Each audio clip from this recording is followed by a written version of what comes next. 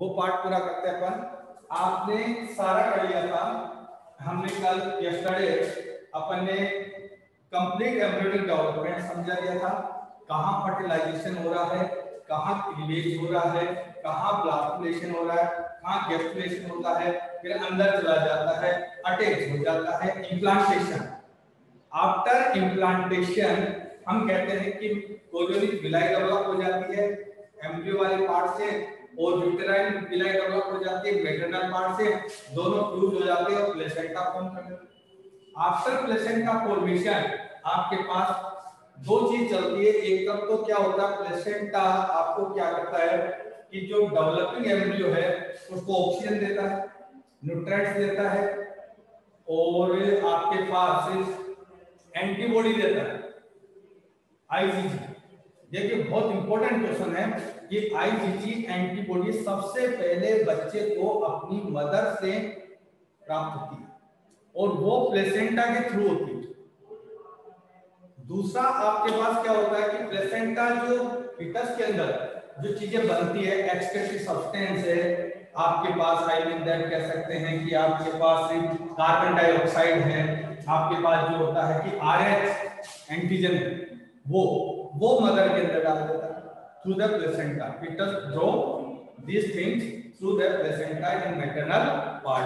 ये maternal part में डाल देता है। और फिर इस प्रकार से एक तरफ़ तो आपके पास ये प्लेसेंटा ये वर्क करता था। दूसरी तरफ़ जब हमने कहा था कि जब थ्री जर्मिनल लेयर फॉर्म हो गई थ्री जर्मिनल लेयर से आपके पास ऑर्गेनोजेनेसिस होता है। एक बार पहले भी बताया जा चुका है। Through the organogenesis formation of different organs और फिर ऑर्गन्स जब बन जाते हैं, उसके बाद केवल इसकी ग्रोथ होती है। जस्ट लाइक अपन कह सकते हैं कि विद इन 30 डेज़ 30 दिन के अंदर अंदर हार्ट बन करके बीट करना शुरू कर देता है। 60 डेज़ के अंदर आपके पास क्या होता है? फिंगर्स हैंड एंड लेग्स के रूडिमेंट्स बन जाते हैं। और अपन ये कह सकते हैं कि 90 days up to first trimester first trimester में लगभग एम्ब्रियो की सभी चीज़ें और ऑर्गन्स वगैरह फॉर्म हो जाते हैं।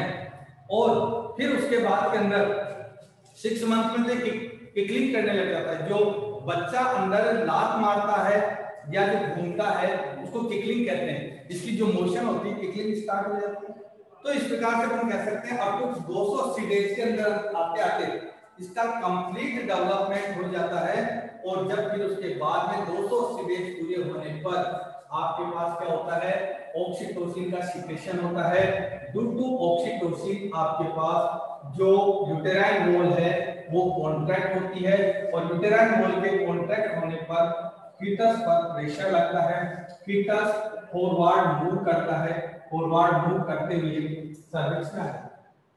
इसी समय रिलैक्सिन का सिक्रेशन होता है पिट्यूटरी ग्लैंड से और रिलैक्सिन क्या करता है? प्यूबिक सिम्फाइसिस को लूज कर देता है। और प्यूबिक सिम्फाइसिस के लूज होने से, फीटस उसमें से होता हुआ बॉडी से बाहर आ जाता है। ये जो सारे जो हार्मोनल चेंजेस है, ये सारे मिलाकर के पास्टुलेशन कहला जाते हैं और जब बेबी बॉडी से बाहर आ जाता है तो कहलाता बर्थ कहला जाती है और बर्थ के थ्रू एक नियोनेटल का फॉर्मेशन हो जाता है। ये इसके लिए छोटा सा टॉपिक आपने दिया हुआ है लैक्टेशन एक जो फीमेल रिप्रोडक्टिव ऑर्गन्स होता है एक पार्ट होता है मेमरी ग्लैंड होती है, जो आपके पास ब्रेस्ट में पाई जाती है और आपके पास वन पेयर मेमोरी ग्लैंड्स होती है, जो आपके पास एक हेड बॉडीज का आउटग्रोथ अपन उसको कह सकते हैं। इसका जो एंटीरियर पार्ट होता है, जो एक सर्कल लाइक होता है, जो फ्लैग होता है that is that blackish in colour that known as areola और एरियोला के ऊपर एक नोब लाइक स्ट्रक्चर होती है दैट नोन एज ये उसका स्ट्रक्चर है। और इनसाइड इसके अंदर क्या होती है कि आपके पास मिक्स ग्लैंड होती है। आपने कभी ग्लैंड्स पढ़ी हो तो क्यूटेनियस ग्लैंड पढ़ी हो। क्यूटेनियस ग्लैंड के अंदर दो प्रकार की ग्लैंड होती है sebaceous gland and sweat gland सुना कभी ना? तो एंड स्वेट ग्लैंड की जो मिक्स ग्लैंड होती है, वो ग्लैंड आपके पास एंड ट्यूबुलर ग्लैंड होती है।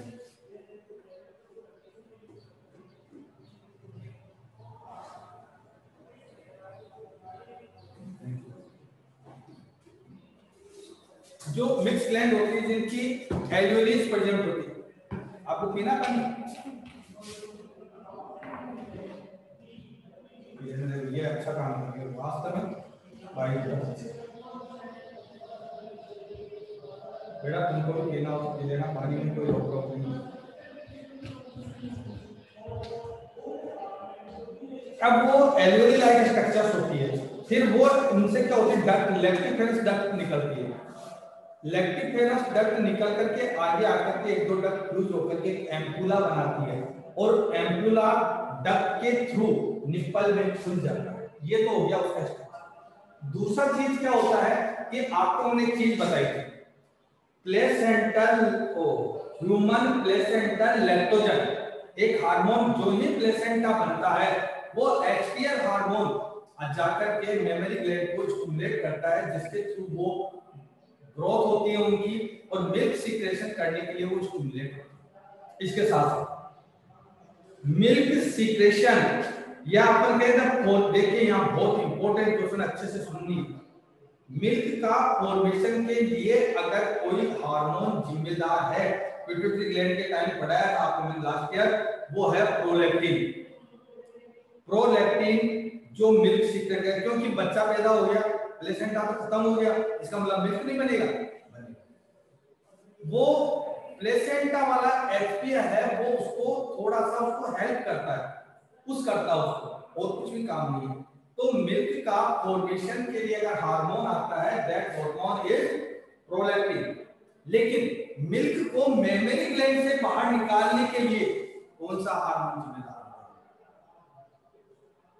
ejection of milk which hormone help Arshita आप बता सकते हैं? ऐसे तो पढ़ाई हो गई बेटा।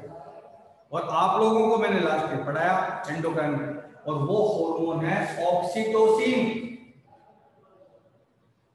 पढ़ाया था ऑक्सीटोसिन ऑक्सीटोसिन हार्मोन और आपको ये भी पढ़ाया था मैंने फ़र्स्ट क्लास में पढ़ाया था कि किसी भैंस का बच्चा मर गया या गाय का बच्चा मर गया।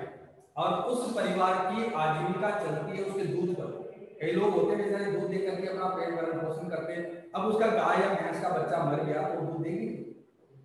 फिर उसका दूध वो देने से उसके लिए उसके लगाते हैं कौन सा, ये क्वेश्चन है इंपॉर्टेंट ऑक्सीटोसिन का इंजेक्शन लगाते हैं और ऑक्सीटोसिन के इंजेक्शन से वो इजेक्ट कर देती है मिल्क तो ये आपका मिल्क मिल्क आपका पूरा चैप्टर टॉपिक कंप्लीट अब एक घंटा का मेंस्ट्रुअल साइकिल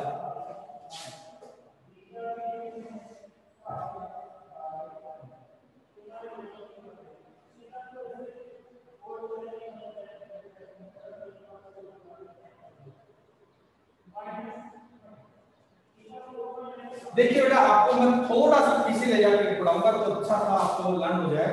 क्या होता है कि in every animal, there are reproductive cycles present वहाँ पर reproductive cycles present होते हैं, हर एनिमल हो या अपन लोग मेमल तो अपन मेमल है। मेमल में जो रिप्रोडक्टिव साइकिल होती है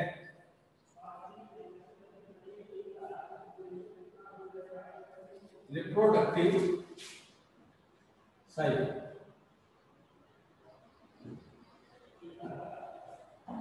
रिप्रोडक्टिव साइकिल होती है, वो रिप्रोडक्टिव साइकिल आपके पास मेमल के अंदर दो प्रकार की reproductive cycles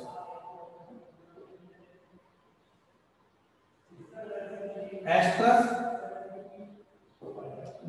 oestrus cycle और एक menstrual cycle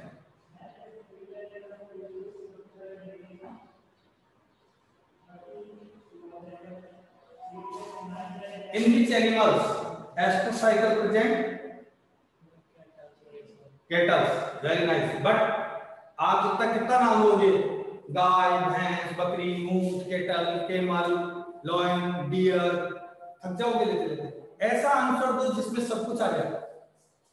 So oestrus cycle present in only in non primate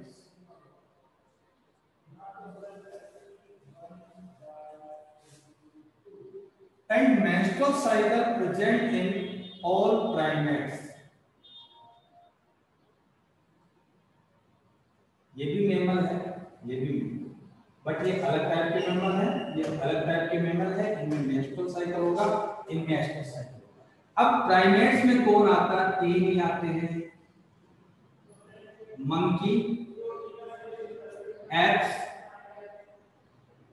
and and and human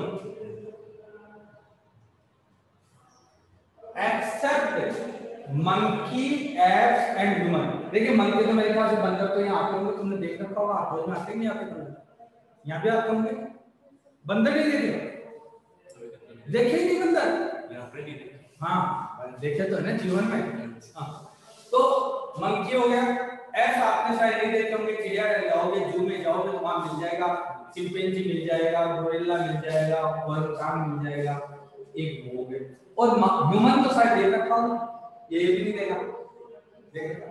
बस इन तीन को छोड़। दो इसके अलावा जो भी मेमल नज़र आता है, चाहे वो गोट हो, चाहे वो काउ हो, चाहे डियर हो, चाहे लॉयन हो, चाहे एलिफेंट हो, चाहे रेड हो, चाहे माइस हो छोटे से लेके बड़ा तक का मेमल वो सारे हैं अब इन नॉन प्राइमेट्स में तो होता है एस्टर साइकिल एस्टर साइकिल आपके है इसलिए पढ़ेंगे हालाँकि एस्टर साइकिल और नेस्टर साइकिल में थोड़ा सा ही डिफरेंस है, ज़्यादा डिफरेंस नहीं अब सुनिए, अब आप बढ़िए अब human menstrual cycle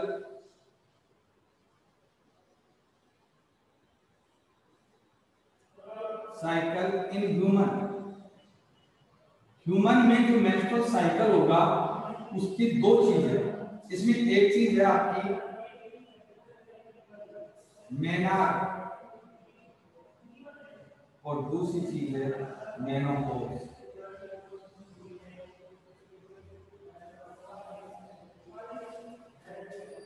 ये दो वर्ड बहुत ही इंपॉर्टेंट है मेनार मेंस्ट्रुअल साइकिल ये मेनार होता है first time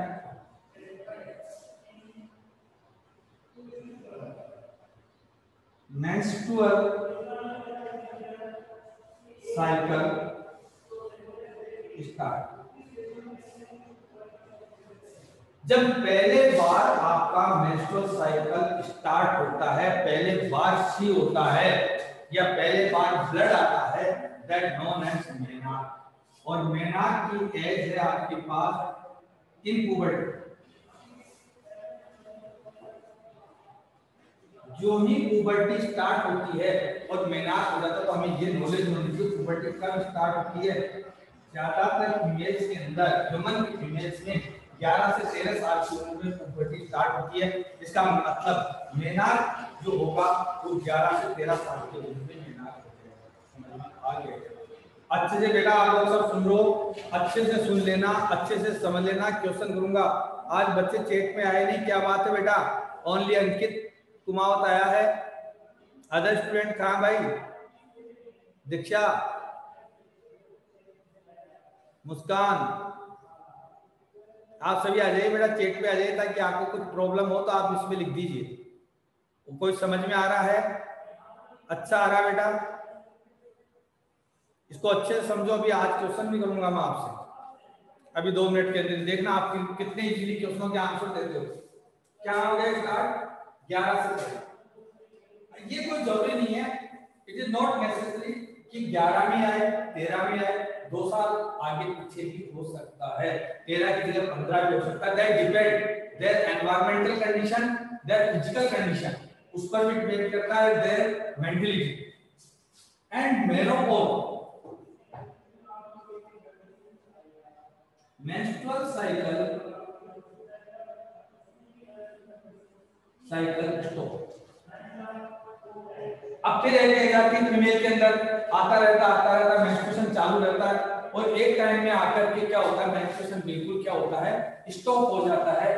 वो स्टॉप होना क्या करता है? मेनोपॉज कहलाता है।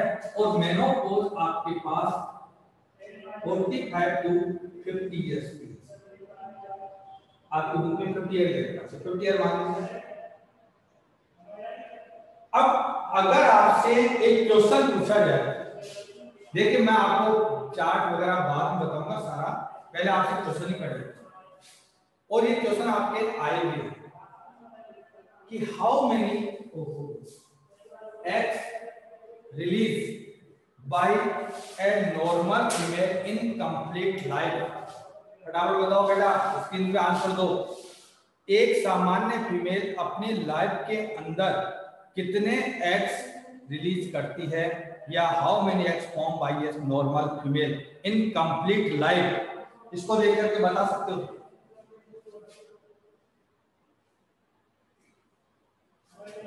मैं जब तक चाय पी रहा हूँ, आप मेरे को आंसर दे दीजिए। एक क्वेश्चन ये, एक तो ये बताओ कि एक सामान्य फीमेल अपनी कंप्लीट लाइफ में कितने एग्स का फॉर्मेशन करती है या बनाती है? एक क्वेश्चन दूसरा question how many ootid form by a normal female एक सामान्य फीमेल के द्वारा कंप्लीट लाइफ में कितने उटिड फॉर्म किए जाते हैं? और and how many oogonia present in ovary तीन क्वेश्चन है। तीनों के जवाब दे दो तो मान जाऊँगा। आपने टेंथ में भी था आपके टॉपिक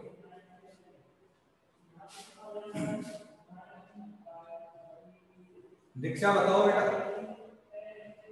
पहले क्वेश्चन का आंसर दे दो। कितने एक्स फॉर्म करेगी?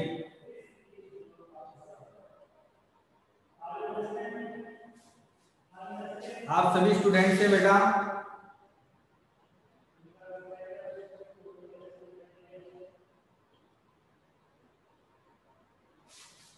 आंसर दीजिए बेटा। एक सामान्य फीमेल अपनी लाइफ में कितने एग बनाएगी?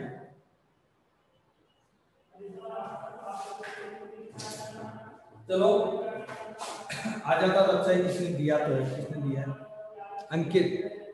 मिलियन ऑफ़ एक्स बेटा मिलियन ऑफ़ उगोनिया कह सकते हो। मिलियंस ऑफ़ एक्स नहीं बनाती है। ये आंसर आपका हो सकता है, अंकित बेटा। मिलियंस ऑफ़ एक्स नहीं millions of oogonia. Present in ovary इसको सही कर लो। एक्स तो लिमिटेड बनेंगे बेटा। चलो आपको एक चीज़ लगाओ, आपसे देखिए आंसर चाहते हैं, आज अपने ये डिस्कस करते हैं कि एक मेंस्ट्रुएशन एक मेंस्ट्रुएशन के दौरान कितने एग बाहर निकलते हैं? How many eggs release through a menstrual cycle menstrual cycle एक मेंस्ट्रुएशन में 28 दिन से जो मेंस्ट्रुएशन पीरियड आता है, उसमें कितना वेरी गुड टीना ने बहुत आंसर अच्छा दिया, एक। 12 और आपका मेंस्ट्रुअल साइकिल होता है 28 डेज़ से रिपीट होता है। तो अगर अपन 28 डेज़ ले तो approx one year one menstrual cycle one egg और one year in one year कितनी? थर्टीन मेंस्ट्रुअल साइकिल तो बराबर कितने हो गए? कितने हो गए? भाई, एक मेंस्ट्रुअल साइकिल में एक एक बार आता है तो 12 महीने में तेरह बार तेरह बार आए तेरह बार, आपके पास तेरह एक आ अब आपको ये नोट करना आंसर देखो, देख, करने का तरीका होता है कि एक फीमेल अपनी लाइफ में कितने एग निकालेगी तो लाइफ में कितने टाइम तक चलेगी, तेरह से लेकर के पैंतालीस तक। मतलब आप 50 ईयर तक तो स्टॉप हो जाएँगे। स्टार्ट होती किस ईयर में? तेरह, चौदह, पंद्रह माह कम ज़्यादा इधर आपने फिफ्टी लिया, इसको दो बढ़ा के लिया। तो अप्रोक्स अप्रोक्स कितने ईयर तक? 35 ईयर्स तक। क्या निकालेगी? एग निकालेगी। और एक ईयर में कितने एग निकालेगी? 30 कितने ईयर तक निकाले? 35 तेरह से उनतालीस। कैसे लूँगा इसको तेरह पंजे पैंसठ, पाँच। और तेरह से उनतालीस और छह। उनतालीस और छह होगा बेटा? पैतालीस।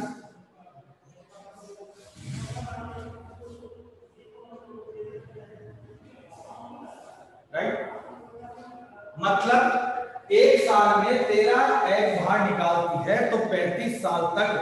हो सकता है ये थोड़ा बहुत ऊपर नीचे हो सकता है, पैंतीस साल नहीं आएगी, तैतीस आ जाएगी, या चालीस आ जाएगी, या तीस आ जाएगी। लेकिन एक अप्रोक्सीमेट अपने एज के अकॉर्डिंग देते हैं मेनोपॉज मेनाज के अकॉर्डिंग तो ये पैंतीस साल तक अंडे बाहर निकालेगी एग बाहर निकालेगी, तेरह एग का लिए निकालेगी तो चार सौ पचपन लेकिन एक चीज़ और, याद है आपको कल वाला टॉपिक जो हमने आपको बताया था कि when a female is a pregnant that cannot release their eggs अगर फीमेल प्रेग्नेंट हो जाती है तो वो उसका जो मेंस्ट्रुअल साइकिल है, वो बंद हो जाता है। मतलब क्या है कि एग बाहर नहीं आता। तो प्रेगनेंसी कितने महीने रहती प्रेगनेंसी तो बच्चा बच्चा जानता है? अप्रोक्स नौ मंथ तो रहेगी तो नौ महीने तो एग ये नहीं आएगा फिर एक लैक्टिंग मदर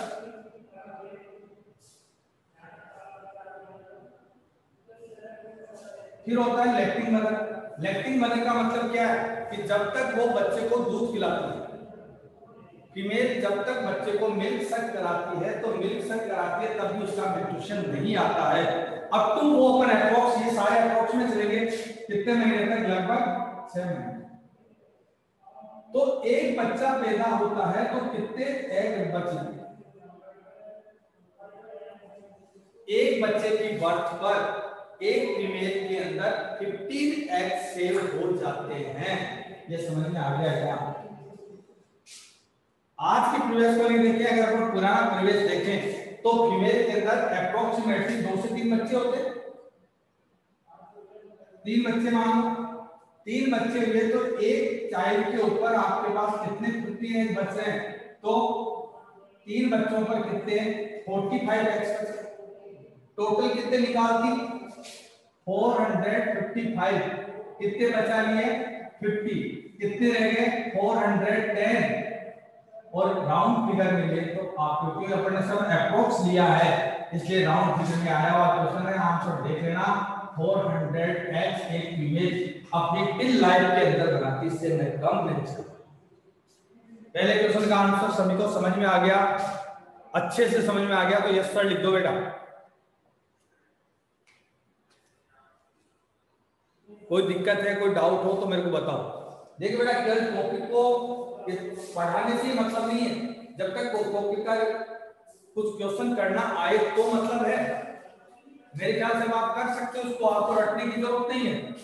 आप नो डाउट वेरी गुड बेटा टीनो तो पहला क्वेश्चन हो गया तो मैंने कहा था कि how many eggs form and by a normal female in complete life तो एक सामान्य या नॉर्मल फीमेल अपनी लाइफ में 400 एग्स का फॉर्मेशन करेगी।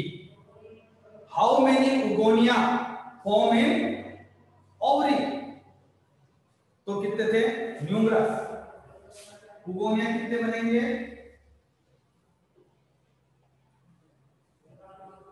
न्यूमरस न्यूमरस का मतलब हो गया millions lot of number in lot of number काफ़ी संख्या में हज़ारों, लाखों करोड़ की संख्या के अंदर दुनिया फॉर्म होगा वैसे आप चाहो तो मैं आपको एक बात एक्यूरेसी भी बता सकते हैं। And how many oogonia how many Hugonia activate in life? एक तो है how many Hugonia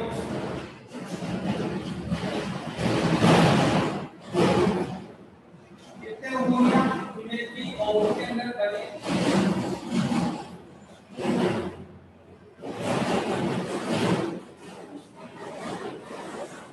कितने उगोनिया इमेज की ओवरी में बने तो या कितने उगोनिया स्टोर रहते हैं वो आपके पास पूरे न्यूमरस मिलियंस और कितने उगोनिया एक्टिवेट हुए जब पुबर्टी आई तो आपके पास इतने तो एग में कन्वर्ट हो गए आप इन्हें एग कह दो या सेकेंडरी साइड में पूछ सकता है बेटा देखिए आज आपके क्वेश्चनों की झड़ी लगा दी मैंने तुम खुद कर सकते हो। सेकेंडरी साइड कह दो क्योंकि आपको अच्छे से पता है मेंस्ट्रुअल साइकिल के दौरान जो फीमेल की बॉडी से बाहर जो स्टेज आती है एग की, वो स्टेज क्या होती है? सेकंड सेकेंडरी साइड होता है नॉट उटिड उटिड कभी नहीं आता। क्यों नहीं आता बेटा? बता दिया फर्टिलाइजेशन के टाइम पे। क्योंकि उटिड का फॉर्मेशन जब होता है, जब फर्टिलाइजेशन हो जाता है। और फर्टिलाइजेशन हो गया तो बाहर को आएगा। मेरी बात समझ रहे बेटा?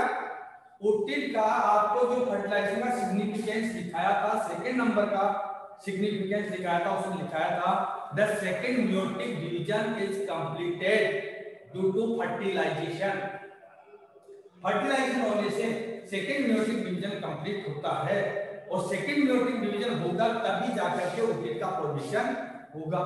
उससे पहले वो क्या रहेगा? सेकंड ड्यू साइड और बता दूँगा आप टेंशन मत लेना। अभी भी समझ में नहीं आ रहा। अभी मेरे पास एक बहुत अच्छा सा फिगर है। वो फिगर बनाऊँगा, उससे सारी चीज़ें क्लियर हो जाएगी। तो हाउ मेनी उगोनिया एक्टिवेट देखिए बेटा, जितने उगो से एड्रिल बने, उससे अप्रोक्स 10 टाइम्स एक्टिवेट मतलब हर बार 10 oogonia eight to 10 oogonia ovary से रिलीज़ होते हैं। रिलीज़ होकर के वो एक्टिवेट होते हैं। उनमें से एक अमोनिया कन्वर्ट होता है काई के अंदर सेकेंडरी ऑक्साइड बाकी सारे बाद में डिस्ट्रॉय होते लेकिन एक साथ कितने चलते देखो, आपने अखबार वगैरह में पढ़ते होंगे इतने तो नहीं है कि बच्चों या आसपास सुनते होंगे। कभी किसी के दो बच्चे हो जाते हैं, कभी चार बच्चे हो जाते हैं।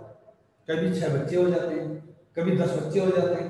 मैक्सिमम ग्यारह बच्चे हो चुके हैं बेटा, ग्यारह के ग्यारह सर्वाइव करके तो यार, ये ग्यारह बच्चे क्यों हो जाते हैं? वो एक टॉपिक अलग से मैं अलग समझाऊँगा लेकिन इसका मतलब ये तो है, अगर एक ही उगोनिया निकल करके आगे की तरफ़ बढ़ता तो हमेशा एक ही बच्चा होता है, इतने दो दो, चार चार, छह छह बच्चे नहीं होते। लेकिन कारण क्या होता है? ईच ओवरी हर ओवरी से आठ से दस उगोनिया निकल करके आगे की तरफ़ मूव करते हैं। उनमें से केवल एक उगोनिया कन्वर्ट होता है सेकेंडरी साइड कई बार through the by the mistake of nature nature की मिस्टेक की वजह से कई बार एक ही जगह दो गोनिया मेच्योर हो जाते हैं सेकंडरी साइड कई बार चार हो जाते हैं, कई बार छह हो जाते हैं तो दो हो जाते हैं तो दो बच्चे हो जाते हैं, चार हो जाते हैं, चार बच्चे हो जाते हैं, छह हो जाते हैं तो छह बच्चे हो जाते हैं। इसमें कोई ऐसी कोई विशेष बात नहीं है, बट तो तो देखिए बेटा दीज आर द 400 तो टिल लाइफ निकालिए।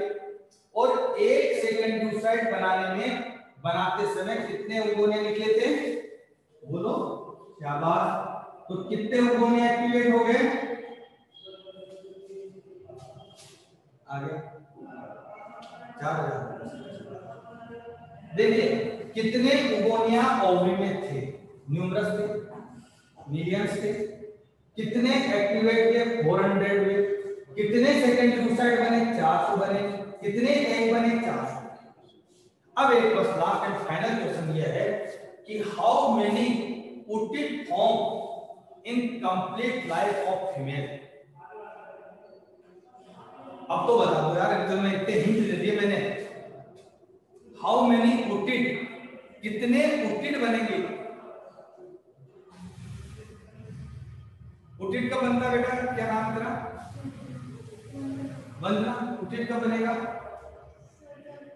जब? अभी तो बताया बेटा, क्या होगा जब बनेगा? फर्टिलाइजेशन होगा। उटित फॉर्म होगा जब फर्टिलाइजेशन होगा। और फर्टिलाइजेशन होगा तो क्या बनेगा? जाइगोट बनेगा। जाइगोट बनेगा तो क्या होगा? प्रेगनेंसी होगी। और प्रेगनेंसी होगी तो क्या होगा? बच्चा। इसके अलावा ओर्किड कभी नहीं बनेगा बिना फर्टिलाइजेशन के ओर्किड का फॉर्मेशन होता ही नहीं है। इसका मतलब कितने ओर्किड बनेंगे? जितने बच्चे होंगे, उतने ओर्किड बनेंगे। Number of orchid equal to number of of springs और बेटा तो आप लिखो number of orchid is equal to number of progeny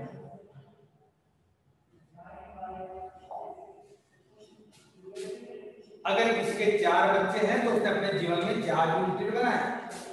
किसी के दस बच्चे हैं तो उसने अपने लाइफ में टोटल दस यूनिट बनाए। और किसी के एक बच्चा है तो उसने कितना बनाया? एक। किसी के बच्चा नहीं तो उसने यूनिट बनाया नहीं। अब चाहे आपके क्वेश्चन घुमा फिरा करके, कैसे भी क्वेश्चन दे दो, कभी नहीं थकाओ लेकिन एक चीज़ हो उसको, जब लगे आप स्टूडेंट्स इसको हटा दो क्या? कोई दिक्कत थोड़ी हटाने से? टाइम वाला आ रहा है। होता नहीं है? हाँ बेटा स्टूडेंट्स सभी को समझ में आ गया क्या ये चीज़? तो मैं एक क्वेश्चन करूँगा, उसका जवाब देना पड़ेगा बेटा। आप रेडी हो जाओ। अगर समझ में आ गया तो मैं एक क्वेश्चन करने जा रहा हूँ, उसका जवाब दो। एक फीमेल है, जिसके दो बच्चे हैं। दो बार उसने एबॉर्शन कराया, दो बार मिसकरेज हो गया। उसने कितने कुटिन बनाए? सुन लिया बेटा। एक फीमेल है, जिसके दो बच्चे हैं। दो बार उसका एबॉर्शन हो गया, दो बार उसने मिसकरेज हो गया। तो उसने अब तक जीवन में कितने कुटिट बनाए? आंसर आया नहीं, बहुत आसान आंसर पूछा बेटा मैं वेरी गुड टीना कुमावत, बिल्कुल इक्वल राइट बेटा आप कौन है ये? अंकित बेटा? हाँ ये very nice very nice Diksha nice very nice बेटा। आप बताओ कितने?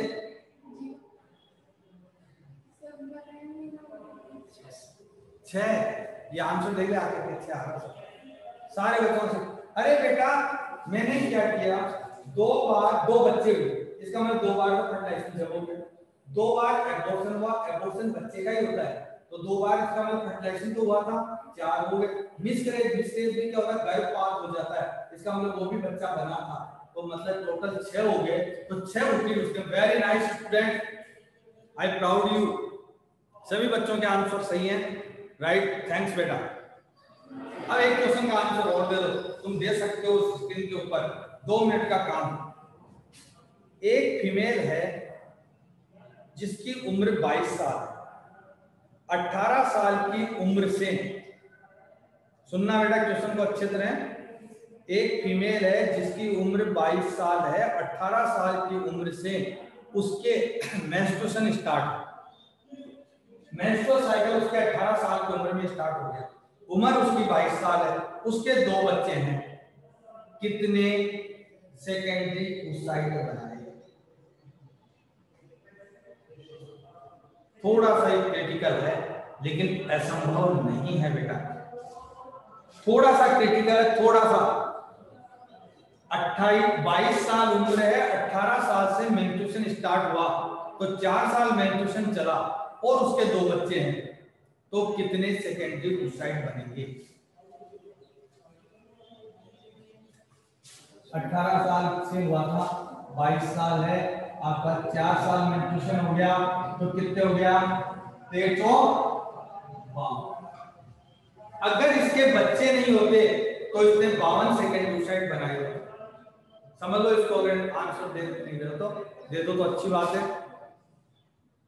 अगर बच्चा नहीं होता, अब उसके कितने बच्चे हो गए? दो बच्चे हो गए। एक बच्चे में कितने बच्चे जाते हैं? पंद्रह? भाई, पंद्रह सेकेंड यूसाइड या पंद्रह अंडे बच जाते हैं एक बच्चे में? तो दो बच्चे हो गए तो कितने बच गए? तीस बच गए। तो इसने कितने सेकेंड बनाए? बाईस। समझ में आ गया बेटा? लेकिन आज बस ये है कि आज आपको क्वेश्चन वगैरह कराने में जो टॉपिक था, वो डायग्राम सहित मैं समझाना चाह रहा था, वो हो सकता है ऑन मंडे आपको समझा दूँगा। बाकी इसको कर लो। और इसको सबसे बड़ी बात यह है बेटा, इसका रिवाइज करना इन क्वेश्चनों को। और आपके जब उसके अंदर एग्ज़ाम में क्वेश्चन आएँगे, जब आपको सर याद आएँगे, इसलिए कर लो बेटा। मेरी ड्यूटी है कि आपको हर चीज़ एक्सप्लेन करनी है। ठीक है? ऑल द बेस्ट बेटा। करो इसको। थैंक्स इसको कर लेना और मंडे को मैं मेंस्ट्रुअल साइकिल आपको डायग्राम बना के पूरा समझा दूँगा। अगर इस टॉपिक में कहीं कुछ चीज़ समझने में आपको थोड़ी प्रॉब्लम रही है तो वो भी मेरे ख्याल से ऑन मंडे वेरी गुड बहुत अच्छा ये। बच्चों ने आंसर दे दिया। वेरी नाइस गुड बेटा। थैंक्स ठीक है बेटा स्क्रीनशॉट ले लो और अब इसको करो